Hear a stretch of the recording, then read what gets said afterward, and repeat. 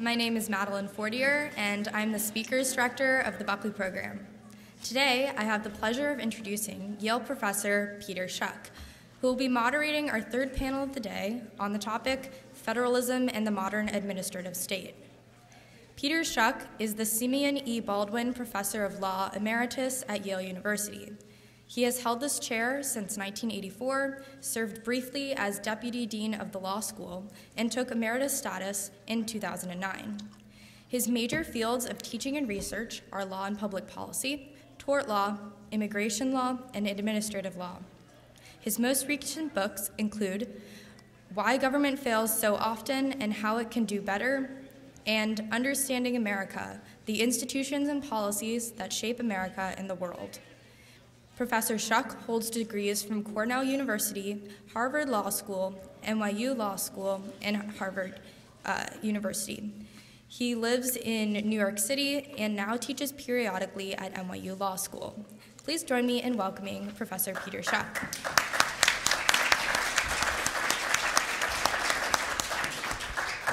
thanks very much, and, and, thanks to the Buckley program for uh, sponsoring this uh, wonderful event.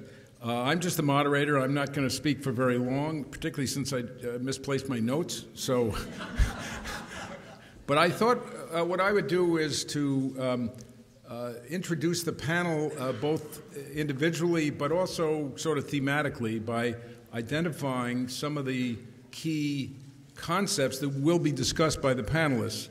Uh, they will, of course, elaborate on these concepts, but I, I, thought I would save them a little bit of time by just defining uh, some of the uh, uh some of the major uh, categories. So, um, first of all, this is about the administrative state, and I understand there are a lot of undergraduates in the audience, and they may not be familiar with that. Um, but the administrative state is simply the arrangements under which um, the Congress has delegated authority uh, to agencies uh, to undertake certain exercises of lawmaking, uh, which uh, conservatives, uh, particularly Federalist Society uh, supporters, tend to believe is unconstitutional. And Philip Hamburger, one of our panelists, is going to explain why that's the case.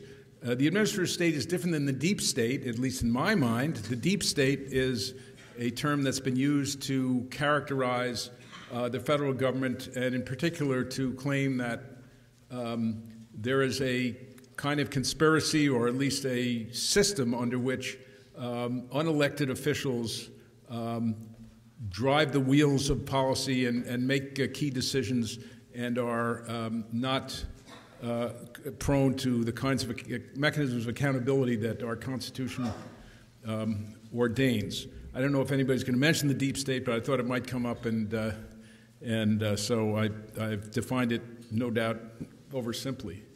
Um, the, another uh, uh point, uh, uh, another theme that will come up is um, preemption. Preemption is the body of doctrine that derives from the Supremacy Clause of the Constitution in Article 6, um, which holds that the basically that the lawmaking by Congress and by the federal courts, um, and it's also been interpreted to apply to the federal agencies, uh, preempt uh, inconsistent law um, enacted by uh, states or localities, or even private action that is inconsistent with the federal um, uh, responsibility un- under the supremacy clause broadly defined. And uh, some of our speakers are no doubt going to uh, maintain that the preemption power, which is a very important one, um, because it eliminates state and local alternatives to federal programs and approaches, um, has been interpreted much too broadly. So we'll, uh, we'll hear about that. Um, the Commerce Clause is uh, a clause in uh, extremely important clause in Article One of the Constitution, which provides that uh, Congress has uh, the sole authority to regulate commerce among the states uh, with foreign countries and uh, with uh, the Indian tribes. And some one of our speakers is going to be discussing the Commerce Clause uh, as well. Um, so, um, oh, uh, the, the other concept uh, that will come up is the non delegation doctrine. The non delegation doctrine uh, derives from a Supreme Court decision uh, about 80 years ago, um, which has that which prescribed that the um, Congress has only limited powers to uh, delegate authority to uh, the administrative agencies, and it has to do so through uh, clear rules. And so um, uh, conservatives tend to maintain that the uh, that the non-delegation doctrine uh, is routinely violated in the design and the implementation of the administrative state. So we'll hear about that.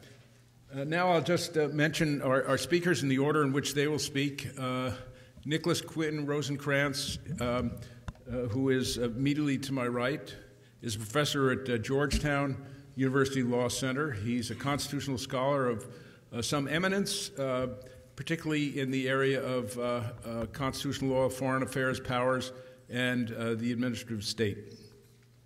Um, he clerked for Justice Kennedy uh, and is a, a leading uh, figure in conservative, conservative professoriate. Uh, Philip Hamburger is a law professor at Columbia. Uh, he is a legal historian, but in recent years has turned to uh, administrative law and will maintain quite energetically, as he has in several books, that the administrative state is, in fact, unconstitutional. and uh, is indeed, as in the title of his re- most recent book, a threat.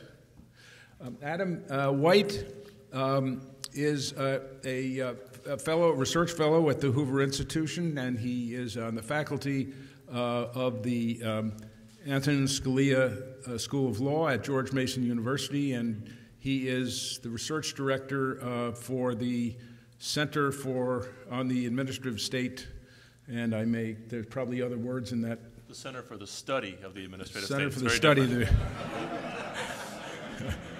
touche. so uh, I will give them uh, about 15 minutes each. Uh, I will uh, keep the time with a rigor that uh, uh, the Supreme Court would enforce. Um, but actually, I can only do that through persuasion. But each of them have about 15 minutes, and hopefully that'll leave time for Q and A, and perhaps some interaction among the panelists. Thank you. Nick. Uh, great, thank you. I'm delighted to uh, be here. Thank you, Peter, and I especially want to thank the William F. Buckley program at Yale. I think this is a hugely valuable and important organization. As you may know, there are 4,410 professors here at Yale University, and the number of those who donated to a Republican candidate in the last primary season was three. There were three that uh, did that. So it's, I think, um, valuable for an organization to try to um, bring uh, a bit of intellectual diversity to the Yale community. So thank you to the Buckley program for uh, that. Um, so federalism in the administrative state, this is a kind of a tricky audience to talk to. I know we have a bunch of undergrads here, but we also have a bunch of some of the most preeminent constitutional uh, scholars in the country. So a little tricky um, to how to quite pitch the talk. I'm going to be um, saying some quite basic things in order to lay some uh, groundwork uh, for the more provocative comments that I think will follow. Um, hopefully, this will be of use to some of you in the audience and. Um, Randy Barnett, Michael McConnell, feel free to like check your email or whatever. It's fine. Um, Okay, so uh, um, federalism. This is the idea that uh, the federal government would be um, limited to certain things that it would be in charge of, and most things would be done by the states. And the theory, the constitutional mechanism for that idea is that the federal government is a government of limited powers. In Article 1, Section 8, we get a list. And that list is the list of powers of Congress. And if it's not within that list, then it's um, not within the congressional purview and it's supposed to be left to the states. And the idea was that was going to be uh, some discrete things, and most things were going to be done by the states. That was the original sort of founder's vision of the thing. As my mentor, Yale law professor Akhil Amar, was uh, often pointed out, um, you know, from the perspective of the framing generation, they just weren't that worried about state governments. The state governments had been around for a while. As he liked to point out, the um, the you know, Massachusetts House of Burgesses or whatever had been around for longer to them than the 14th Amendment has to us. So they, they, weren't worried really about their state governments. They were worried about this new federal government and quite what it was going to be up to. Um, by the way, uh, in Barron v. Baltimore, the Supreme Court points out um, the Bill of Rights doesn't actually bind the states, it just binds the feds. The framers were not worried about what the states were going to do. It says, Congress shall make no law abridging the freedom of speech, right? But Massachusetts could. Why doesn't the Bill of Rights restrict that? Well, because they thought that the Massachusetts Bill of Rights did a good enough job of restricting the uh, Massachusetts legislature. So, okay, so that was the original um, federalism idea, and just to get a few kind of uh, ideas on the table, why? Why would you want the feds to do few things and the states to do um, uh, most things? Well, there was the idea of laboratories of democracy. So it's the idea that, um, you know, if you had 13 or even 50 different governments trying to take a crack at policy questions, then maybe one of them would hit on some great idea, and then that great idea could be imitated by the others. That's one idea. And then um, a somewhat related idea maybe actually the states might have different preferences. There might be heterogeneous preferences. So maybe Massachusetts likes, you know, high taxes and lots of services, and North Carolina likes low taxes and not as many services. And if your preference doesn't match up with your state, you could move to another state, and we could get a variety of different uh, answers. So those are some of the ideas for federalism, that you could move to the state with the policy mix you liked, and so forth. Okay, so um, the strategies of the Constitution, this limited list of powers in Article 1, Section 8, and then the point is underscored by the 10th Amendment, which says the powers not delegated to the United States by the Constitution nor prohibited by it to the states are reserved to the states respectively or to the people. That is, the default rule is going to be state power, not federal power, right? So if you can't find it in the list, then it's a state power, presumably. So that was the 10th Amendment idea. Okay. So uh, that was the original constitutional structure and what was sort of originally imagined by the framers. But I'm just going to tell you briefly about a couple of developments since then, the important developments. So one is, as uh, Peter uh, referenced, um, the Commerce Clause. So the Commerce Clause is one of these powers in Article 1, Section 8. It says the Congress shall have power to regulate commerce among the several states. And uh, in a series of decisions, the Supreme Court has dramatically expanded the scope of that clause, dramatically. So, uh, a couple of the logical moves, if you're interested. One is to say, well, that clause really embraces anything that substantially affects interstate commerce. So, not just the regulation of the interstate commerce, but of things that substantially affect it. That's a crucial analytical move, right?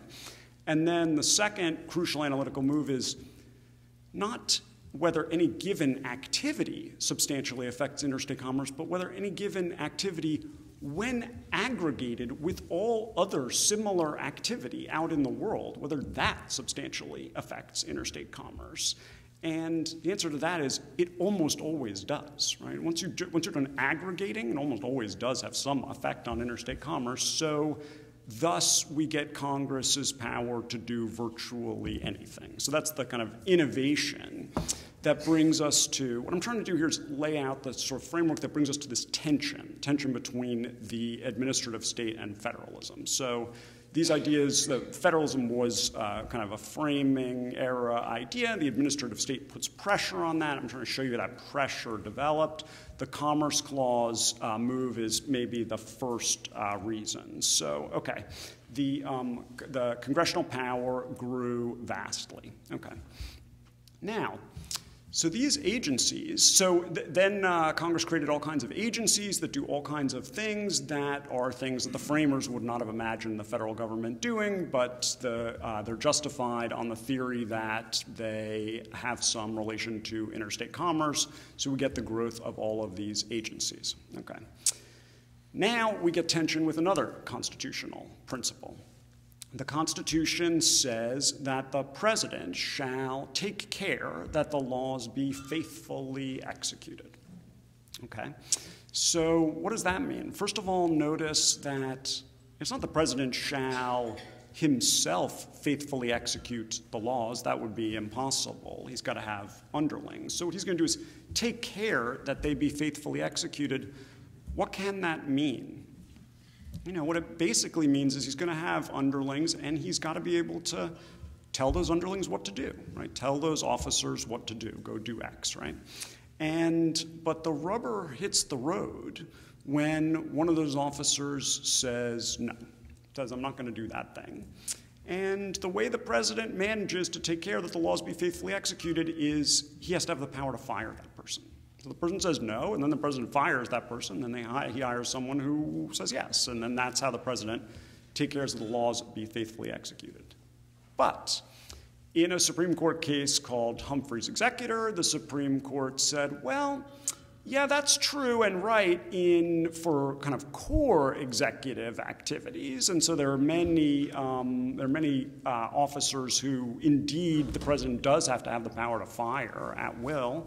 But the heads of some of these agencies are really doing kind of quasi uh, legislative or quasi judicial things. And as to them, the president doesn't quite have to have that same level of power. So those folks, uh, it, the court held that it was okay for Congress to say that some of those folks could be fireable by the president only for cause. That is, he can't fire them at will. And so that gives these agencies, the heads of these agencies, and thus the agencies themselves, some level of independence as against the president. Okay, so that's a second thing that puts some of these ideas into tension. Um, and third, uh, the, um, these agencies are doing these things that look quasi legislative. So uh, Congress passes laws that are very vague and then agencies pass regulations, which in theory are fleshing out the extremely vague terms of the statute, and in practice, you know, are looking really a lot like legislation. And uh, you might have thought that uh, that was in tension with yet another constitutional provision, the provision that the legislative power shall be vested in a Congress of the United States. The non delegation doctrine said, you know, Congress can't give away its legislative powers. It can't have folks other than Congress legislating. But um, so when Congress passes a very vague statute, what the agency is doing can look a lot like legislation. You might have thought that was unconstitutional, but the court has said um, it's okay as long as what the Congress says has an intelligible principle. So as long as it's not too vague, it's okay for agencies to do a lot of the fleshing out. And these developments are the developments that put a lot of pressure on federalism, right? So we get Congress doing, we get the federal government doing a lot of things that uh, the framers imagined the states would do. So we get a lot of pressure put on federalism. Okay.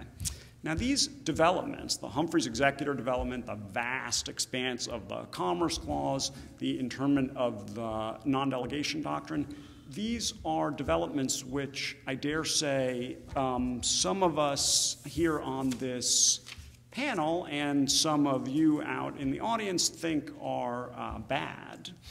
But they are, uh, unfortunately, water under the bridge. And so it actually, they raise the question, which is quite a difficult question for people like Randy Barnett and Michael McConnell, about how, a, how an originalist should uh, deal with these things. Um, how are you to vindicate federalism principles in a world in which these sort of three things have already happened? Now, you can take the position, as an academic, you could take the position that you think we should just get rid of these things, like we should, you know, turn back from Humphrey's executor and roll back, you know, Wickard v. Filburn and things, and take that position. It's very unlikely that the court is going to do that. It's possible, but very unlikely.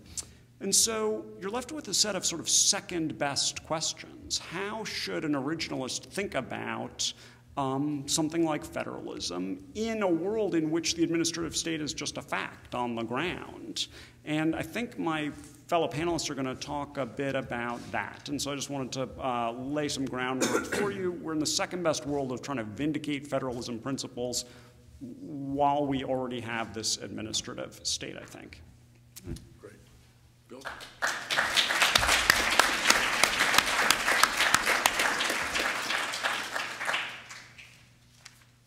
So, first, I must say it's a great honor to be here and a great pleasure because this is my hometown. When I got off the train, I walked over to say hello to the regicides behind the Center Church. Um, they're long dead, but in my imagination, they're still alive, lurking somewhere in the woods in, in on West Rock. Uh, now, I, I have two points today, two fairly simple points, although they become complex in the details.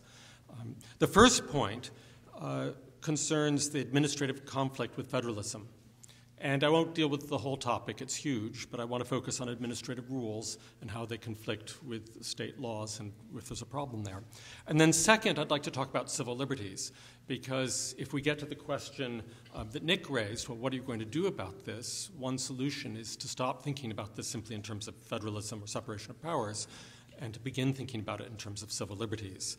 Then one begins to get a little traction.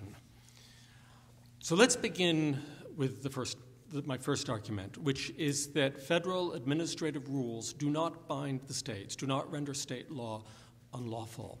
Now, that may seem as a bit of a shock if one's read the last uh, century or so of Supreme Court cases. Maybe it's just an ideal. But it's something we need to keep in mind when talking about federalism, because at the very least, even if doctrine doesn't change dramatically, it sets a baseline from which, we have to we can from which we can begin to understand the problem. So let's just begin by asking why are federal statutes binding on anybody, whether us individually or on the states? Um, I think we can begin to understand this in the same way the founders did. Um, statutes are enacted not only under a constitution adopted by the people, uh, but also by representatives of the people in a legislative body. Our representatives, whom we choose and whom we can get rid of. We're each personally disappointed with each election. Some get something we want, something we don't want, but we get to vote for our, the people who make our laws. And that's profoundly important because that is what traditionally was understood to give statutes their binding quality, their ability to create legal obligation, both for us personally and then for the states too. It's one of the great innovations of the federal constitution that it does this. It binds the states. And We, Madison in 1782 thought to get, the states to do what Congress wants, perhaps we have to send military force. But no, we just go to court, and the courts enforce the law. So, how are administrative rules different? Well, administrative rules are not made in Congress. Uh, they're made by members of the executive branch or independent agencies, by persons who are not elected and are largely unremo- unremovable. Uh, and this is a little different. There's it doesn't power, it's not power from the people. And so, at least in theory, it doesn't bind us as individuals and it doesn't bind the states. Um, interestingly, the Constitution recognizes all of this. Uh, Article 1, the, first substantive words of the Constitution, all legislative powers here herein granted are, are in the Congress of the United States. All legislative powers. Um, why is that word there? Um, if this were a permissive grant, such that other bodies could exercise the legislative powers, you wouldn't need the word all, right? Um, it's a signal that this is an exclusive grant to Congress, not other bodies. But we can go further, for example, to the Supremacy Clause, and this is an argument, by the way, borrowed from a brilliant former colleague of mine, Brad Clark at GW. Um, the, Supreme, the Supremacy Clause defines what law is supreme, law, and this includes laws made in pursuance of the Constitution. Um, administrative rules are not made in pursuance of the Constitution, they're made in pursuance of statutes not of the Constitution. Um, so these are, even if you look at the text of the Supremacy Clause, it embodies this assumption that these other rules, the ones not made by, co- by Congress, are not binding on the states. Um, so I don't think administrative rules really defeat state law. Now, of course, there's a counter argument, a very reasonable counter argument. What binds the states, actually, are the statutes that authorize administrative rules. And administrative rules are merely executive specification of what's generally stated in the statute. It's a very nice, it's a very clever argument. The problem is that it's entirely fictional and has long been recognized as fictional. I'll just quote James Landis, uh, writing in the 1930s. He explained, It's obvious that the resort to administrative process is not, as some suppose, simply an extension of executive power. Um, and those who have sought to liken this development to a pervasive use of executive power simply, and I see his words, confused. Uh, so I'm happy to rely on James Landis on this. Now, current doctrine is the opposite of what I've told you. So, why am I worrying about this? Why bother spend all this time explaining why it's actually different from current doctrine? And I think the best way to understand this is to actually ask each of you to consider are you worried? Are you worried about the degree of alienation in our society about our government? Uh, both on left and on the right, there's profound alienation, profound discontent deep rumblings. And some of it you might think is rather shallow, but the pro- problem sociologically is very deep. And we should all worry about this, regardless of our political point of view. And if you're worried about that alienation, one thing I think one needs to worry about is that we have taken a republic and created within it an entirely different system of government that is not accountable to the people. We do not make uh, we do not elect the people who make our laws anymore. On the, yes, that's the shell, but the substance of most legislation at the federal level comes in agencies that are not elected. So if you take the alienation problem seriously, even if you discount all the political theory of the founders, but you care about the sociology of current America, you need to worry about administrative power. And even if you're an advocate of administrative power, you should consider perhaps don't play that hand too hard because there'll be backlash that you will find unpleasant and that you think problematic. Now, do I have a few minutes left, I think? Yes. Uh, I'd like to switch gears a little bit. This panel is about administrative power and federalism. That's an important topic. But I think it's a grave error to look at this problem narrowly in terms of little boxes like federalism, separation of powers, delegation. That's all well and good. But instead, what I'd like to do is talk about this in terms of civil liberties, because that is the key thing that we need to worry about with administrative power. What am I talking about? How could this be a matter of civil liberties? Well, let's just take, for example, equal voting rights. The, since the Civil War, there have been two central developments in American law. One, equal voting rights, first for blacks, then for women, and then really for blacks in the 1960s. And the other one has been administrative power. And I'm not the first person to note that, very oddly, administrative power seems to increase after each extension of voting rights. So, what I'd like to ask is is there a connection? And of course, there is. Uh, the reality is that uh, the knowledge class, this is a matter of class rather than politics, the knowledge class of which we're all members, has, as a whole, welcomed equal voting rights and then regretted the results. And the solution has been at the same time that you extend voting rights to minorities, you withdraw legislative power out of Congress, the elected body, into the hands of people, well, you know, like oneself. Um, this is not just, uh, you know, this is not just hamburger speaking. Let me quote one of the founders of the administrative state, Woodrow Wilson. Others later learned to talk about this less candidly, but Woodrow Wilson bless his heart, was quite candid. And remember, these are his words. Don't attribute this to me, goodness gracious. Um, he said the reformer, meaning the progressive reformer, is bewildered by the need to persuade a voting majority of several million heads. And then he explains that he's particularly worried about the diversity of the nation. He says because this means the reformer needs to influence the mind not only of Americans of the older stocks only, uh, but also of Irishmen, Germans, and Negroes. And then he elaborates the bulk of mankind is rigidly unphilosophical, and nowadays the bulk of mankind votes. That disturbs him. He's an admirer of Bismarck, as you can tell. And where is this unphilosophical bulk of mankind more multifarious in its composition than in the United States? Accordingly, to get a footing for new doctrine, one must influence the minds cast in the mold of every race minds inheriting every bias of environment, warped by the histories of a score of different nations, warmed or chilled, closed or expanded by almost every climate of the globe. I can go on and on quoting Woodrow Wilson, but you, you get the idea. Um, the administrative state was designed as a response to the diversity and seeming uh, uh, the diversity of what Carlyle called the unwashed masses. And so, if you wonder why people are upset about it, um, they haven't, may not have read Woodrow Wilson, but they, they get its implications. Part of those are racial, right? Much of the administrative state is run by white men. But I don't think ultimately it's about race. Ultimately, it's about class. And that is indeed part of the alienation that we see in our society today. If you worry about it, worry about equal voting rights because they've been essentially gutted quietly. Uh, it is the greatest bait and switch in American history. Second, if you're worried about civil liberties, what about those procedural rights? Most of the Bill of Rights consists of procedural rights, you know, juries, due process, self incrimination, etc. These are also gutted by the administrative state. The administrative state allows the federal government to adjudicate not merely in courts of law where you get all your rights, but also in administrative so called tribunals uh, where you don't get most of these rights or just get watered down versions of them. And that changes the very nature of what it is to have a constitutional right in the procedural area. Procedural rights used to be guarantees. It's a guarantee because you're guaranteed to get it. But the government now can act ambidextrously. It can move against you in a court or in an administrative tribunal. And that means that what once were guarantees for the people are now merely options of power for the government. It can give you your rights in court, or it can take another path and whoopee, no rights. Uh, and finally, um, this has consequences for substantive rights, and here the First Amendment is particularly important. Uh, it's important in the area of religious liberty, perhaps most important for freedom of speech. Uh, three, no problem. Uh, three minutes will do.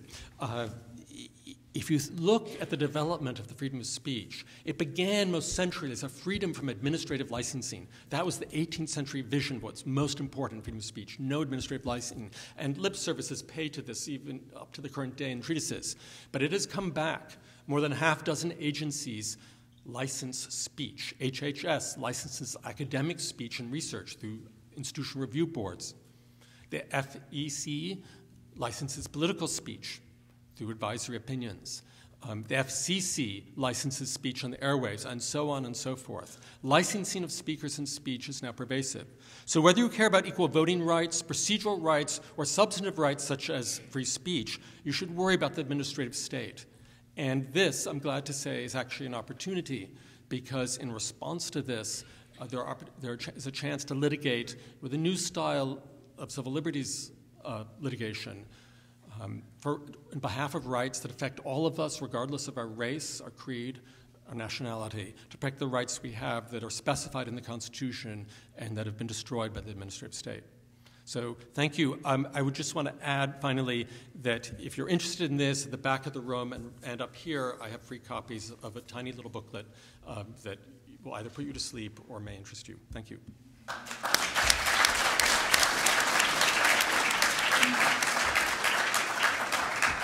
Adam? Well, thank you. It's a real pleasure to be here. Um, uh, in particular, this organization named after one of my own heroes, as so many of us have mentioned today, William F. Buckley Jr.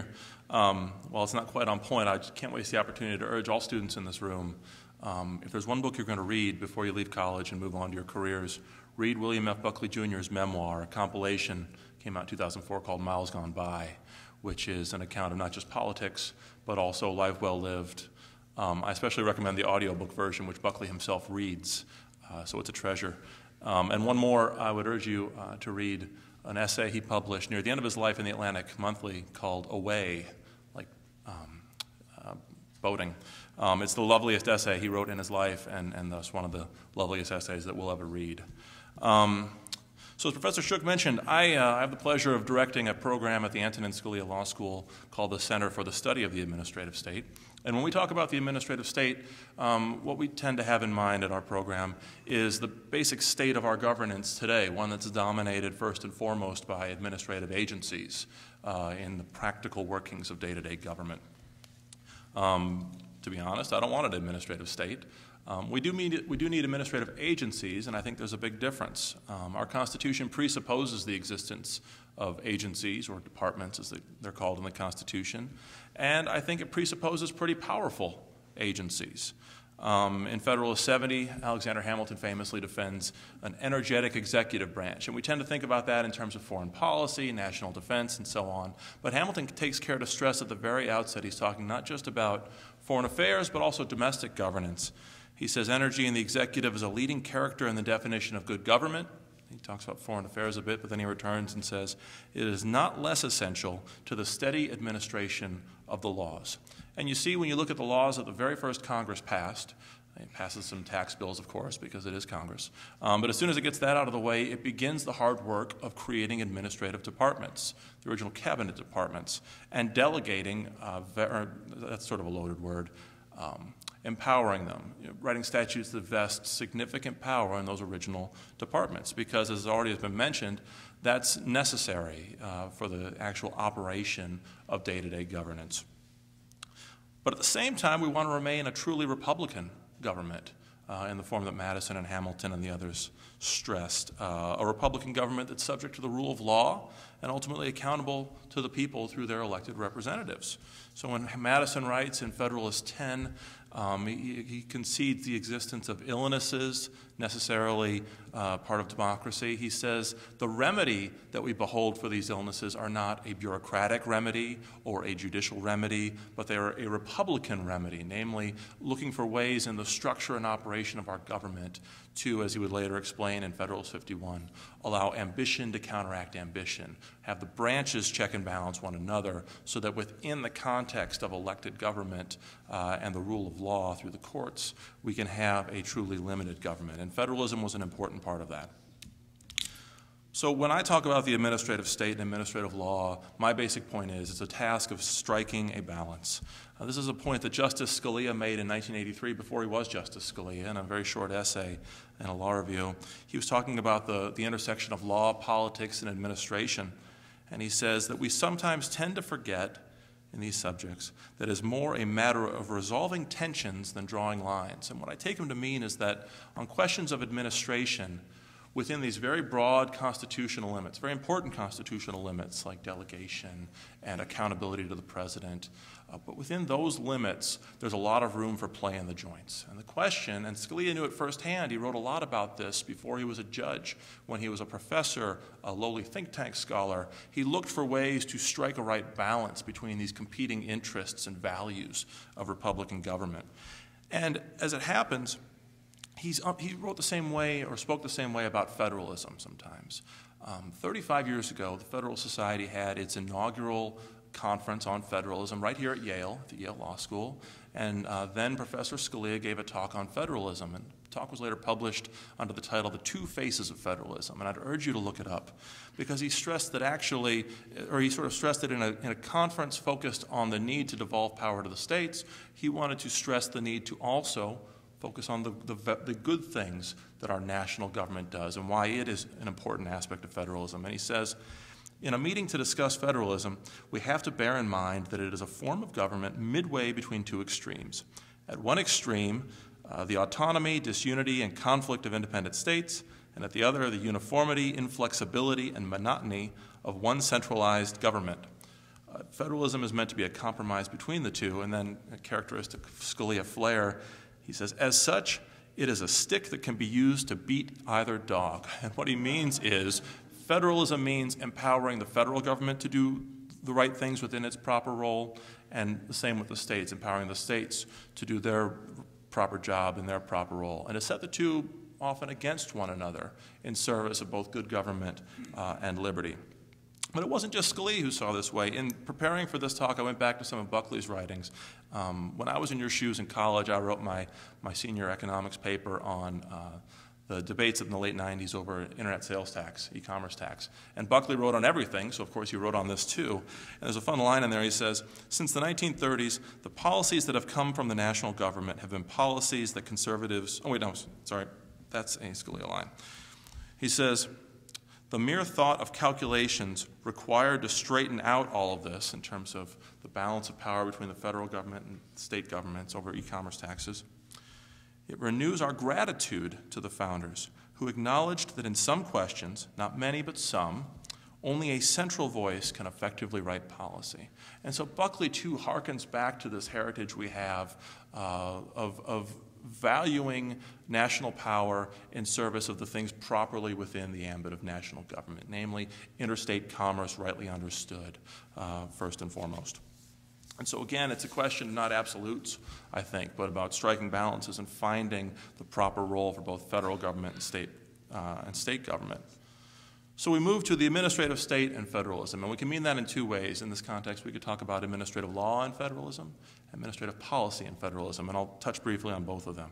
First, administrative law. Um, administrative law is often a proxy war for much greater debates that we have in this nation. And we've already discussed several of them fights over the powers that Congress delegates to the agencies, uh, debates over due process, over civil liberties, over federalism. And of course, those debates should and will inform debates over administrative law. Um, but I'd say there's only so much that administrative law can do to solve those debates. These are debates that are much bigger than administrative law. And as the courts and the people sort these things out on a broader scale, that's how these, these values will be sort of ultimately found in administrative law. But they're not going to be solved first and foremost through administrative law. Um, but there's some things that the courts can do and I think should do. Um, in terms of Chevron deference, the doctrine under which courts often defer to agencies' interpretation of ambiguous statutes, and they're mostly ambiguous.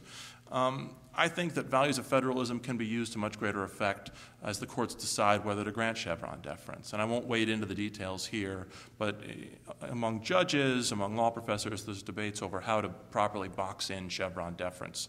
And I think courts pausing at the outset to consider the federalism implications of a particular program is one sort of antecedent step you can take in a, in a regulatory case to sort of promote the value of federalism in the work of the judges. Second, this has been touched on the question of preemption. Uh, Congress's laws preempt state laws. Agencies' regulations often preempt state laws. I think the court should be more rigorous uh, in reviewing these regulations uh, and probably be restrain, the court should do more to restrain agencies from making regulations that purport to preempt federal law. Um, but like I said, I think there's only so much that administrative law can do to promote federalism. The, cause, the causal relationship really is the other way around. I would focus on administrative policy in federalism because I think there's a lot that can be done in that realm to promote federalism. It's already been mentioned that we think of the states often as laboratories of democracy, uh, but they're not very good at it uh, in this day and age. The states don't do enough to really serve as laboratories of democracy. And we can blame the federal government for sort of encroaching on the state's turf, and that's that's true to some extent, but as I'll say, I'll return to later, the real problem is that the states don't defend their turf enough. And I don't just mean defending it in court, I mean defending it by actually working to promote interesting and innovative policies that inspire other states to follow suit and that encourage the courts to defend the state's turf and that actually give the Congress a reason to take a step back. Um, there's so many areas where states could be doing more to be innovative, whether it's welfare policy, um, something that Professor Schuck has written on in a, uh, a, journal I particularly admire and I hope you look for, National Affairs, a great policy quarterly, welfare policy, education policy, even energy and environmental policy, which is the subject of what we usually call cooperative federalism. These national programs like the Clean Air Act and the Clean Water Act that bring the states in in a very significant way to administer federal policy. These are all areas where the states could be doing a lot more and thinking much more creatively. But the fact is, they don't. The states tend not to take initiative on this outside of lawsuits. Um, they're very reactive. Um, and they seem very too often they seem content to serve as the branch office for federal regulators, whether it's the EPA or other agencies like that. I think the state regulators need to think for themselves and I don't mean collectively the states as a whole, I mean individual states. Too often, another problem with, with the states and federalism is they sort of band together and imitate one another. You'll have sort of a red state version of a regulatory program and a blue state version of a regulatory program. I think that's not really creative uh, enough, and it doesn't do enough to really serve as a laboratory of democracy. Um, only by taking proactive steps being innovative and, and promoting demonstrably effective policy programs will states begin to present a credible alternative to national regulation. Um, in this, I'm reminded of, of, Madison in Federalist 51, where he talks about uh, federalism uh, and the separation of power. Or Federalist 51 is about separation of powers, but he says ambition must be made to counteract ambition. One of the problems we're having at the national level right now is Congress is not ambitious enough uh, relative to the other branches. I'd say the same is true for federalism. The states just simply aren't ambitious enough in formulating regulatory policy. Um, and in closing, I think of a, a, famous line, again, from a separation of powers context, from uh, Justice Robert H. Jackson in a famous case. If you go to law school, you'll read it, called the Steel Seizure case. Jackson is talking about the proper allocation of power between the president and the other parts of government.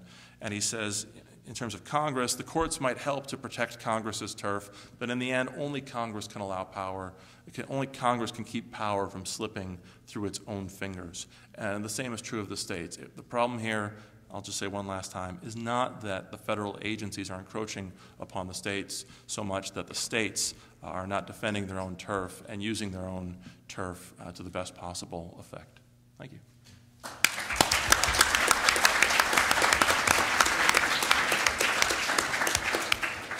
well, our speakers were uncharacter- uncharacteristically uh, modest in their use of time, uh, so we have uh, about eight minutes left for Q&A from the audience. Um, and we have microphones nearby for those who want to speak. Thank you. Thanks all for great presentations. please, please identify yourself before you ask your question. Sure. Henry Capel, local attorney, and even worse, government employed. Nonetheless, um, in seeking to pare back the excesses of the administrative state, how does one begin to overcome the what I would think of the tremendously powerful circumstances that favor its maintenance and expansion? I'm thinking of two. One is there's a tremendously large number of jobs and careers, vested interest, that benefit just from its existence, who work for it and the ancillary uh, agencies around it. And secondly, uh, the ec- economic problem of you have highly concentrated benefits that often accrue to a highly motivated few from various administrative rulings versus highly dispersed costs that are barely felt by any one individual among the rest of us that bear that cost. How do we get past that politically in order to um, reform the administrative state? Is that question directed at any particular panelist? Uh, so, uh, j- for what it's worth, uh, although I argue against uh, binding administrative rules. I wish the agencies wouldn't attempt that. Um, I have nothing against administrators. In fact, I think we should pay them double if they promise not to do it again. Um, at which point, see, so I don't think one has to think of it simply as dismantling people's jobs and pensions and the like. That's, and many agencies actually have some expertise, uh, not all of them, but some have genuinely advanced expertise, and that could be valuable in making proposals to Congress. So it, it needn't be an us versus them kind of thing. Um, as to how to overcome entrenched interests, uh, I suppose it's worth keeping in mind that, of course, the administrative state or administrative power has a lot of costs in destroying a lot of people's jobs, too. Uh, so, it, where the balance lies, I don't know. Um, then finally, uh, ultimately, the appeal has to be to the judges um, on terms that they take seriously, even with current doctrine. And that's why I think a civil liberties angle actually is quite significant. They do care about their role as judges, they do care about due process, they do care about juries and the like. Didn't Reagan once say that the closest thing we'll ever have to eternal life on earth is the existence of a government program? Um, it's very hard to, to come up with, with, with, with, with you know, broad ways or bold ways to roll back agencies or regulatory programs, but there are some small ways. Um, one thing that I, I, think the conservatives need to focus more on is the example we saw in the environmental movement. Uh, they promoted a, a, a, theme called environmental justice. Um, in environmental programs, uh, the agencies are required to look out not just for costs and benefits in general, but for ways in which the burdens of a regulatory action fall disproportionately on a particular disfavored or vulnerable community.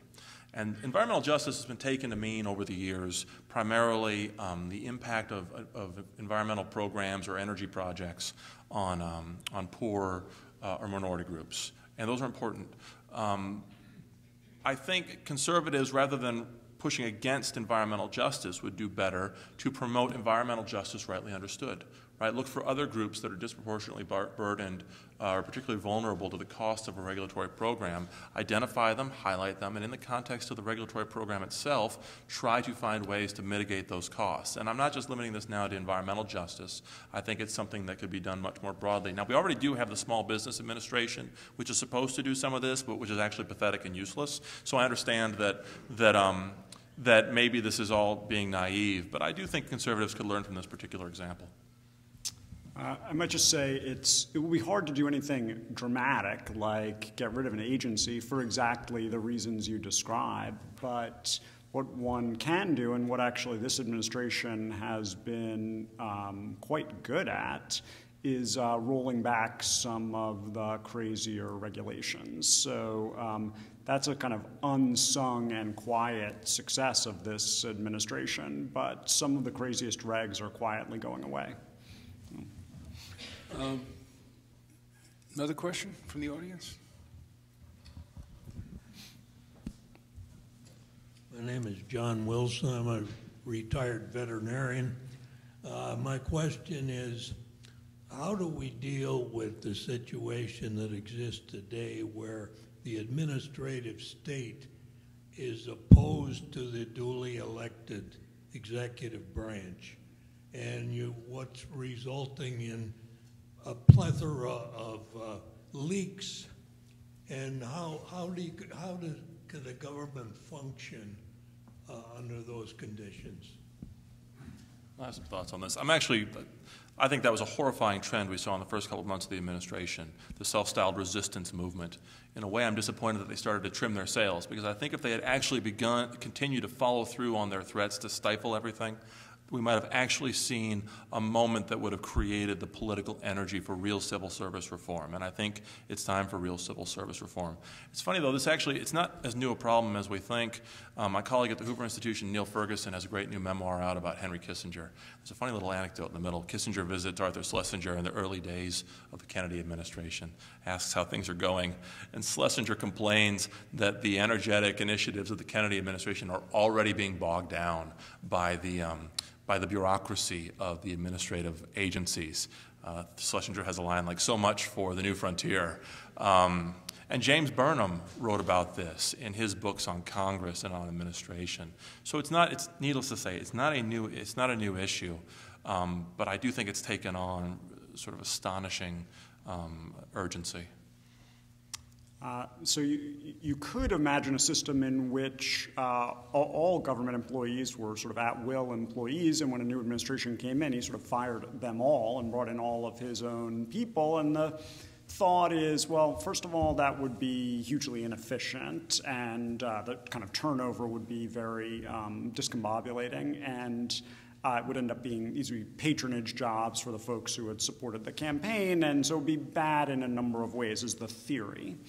Um, and but so what we've ended up with as our compromise is a actually very thin layer at the top of political appointees, and then vast, vast numbers of civil service employees who have, um, you know, civil service type tenure protections.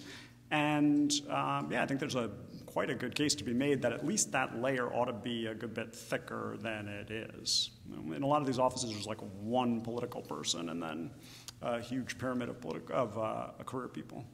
If, if, I just add a little bit to these wise thoughts, I, I just say I, I think a coordinated and orderly White House could raise this issue and win it if it actually devoted enough time that think like IJ, the Institute for Justice.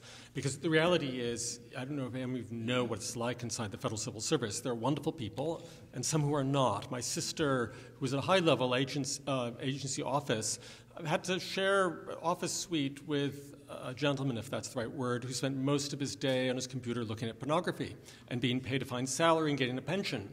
And it just it was so complicated to fire him, the solution was just to move to a different office. Now, I think a few examples like this, if sufficiently publicized, would allow the president just to fire one person, create a good test case. But I don't see that imagination currently. But I don't mean to, can I just add one, one last point to that? That in the current administration, one of its greatest failings, I think, has been its reluctance to energetically fill that top layer of political appointments. The problem has not exclusively been the Senate, although the Senate is a problem. The problem has been the administration, a problem has been the administration not filling those jobs quickly enough because of inertia, because of concerns, you know, all the, the multiple layers of vetting. That top layer of political appointees is the transmission belt from, for energetic, uh, for the energy of the executive to go from the president into the bureaucracy. And uh, the failure of this administration to do this at the outset as fast as possible and fill those seats might prove to be one of the biggest um, examples of, of the administration shooting itself in the foot in its first year. Last question.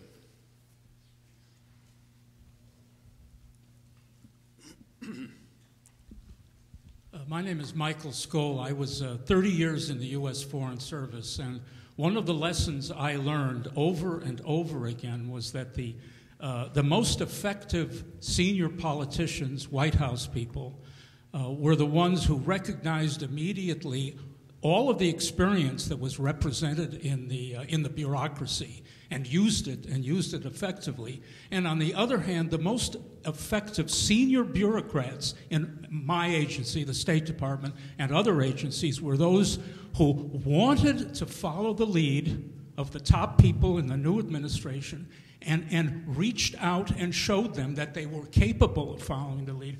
I could go on with example after example of senior people on both sides, politicians and bureaucrats, who were able to do that. And in each case, the policy was better, it was more effectively administered, and the, the country, I think, was better off for it. Uh, does anybody want to comment? I don't doubt that there are lots of examples like that, and uh, there should be, and it's terrific that there are such civil servants. But you know, it's a really a quite a distinct mindset. The mindset that's extremely competent and has a lot of expertise and yet doesn't mind shifting 180 degrees and when uh, administration changes. That's game to kind of follow the lead of whatever the political, um, you know, whatever the political agenda may be. Even if, so you have to imagine someone who's extremely competent and motivated at doing their job, even, and yet not so committed to an ideological outcome or methodological outcome that they're willing to move 180 degrees with a change in administration. There are such people, and I've worked with such people, and they're fantastic, but they're not as many, I don't think, as you describe. Well, it's rarely 180 degrees. I've never experienced that. Well, maybe at the EPA these days. I must say, uh, maybe even the State Department. I, I, I, confess, so an old 17th century adage uh, was uh, people are policy, and I think that's still true. Um, it's, it's discouraging. There are noble examples where that's not true, and I admire that. Um, but the reality is, if one has different policies as a result of elections, perhaps there should be some room to carry those out. Well, our official time is over, but I'm sure the speakers would be happy to entertain uh, questions or comments uh, after the session. Uh, I, w- I, I wanted to raise one question, but we're sort of out of time, but maybe uh, they can spend 20 seconds or 30 seconds uh, pondering it, which is uh, why